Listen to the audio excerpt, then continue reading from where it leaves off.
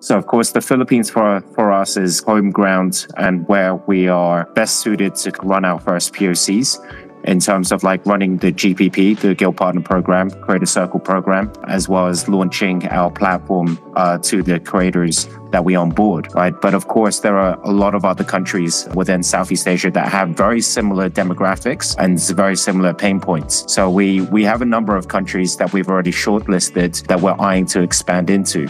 Actually, this year, we actually had the idea to expand into a second market in the second half of the year.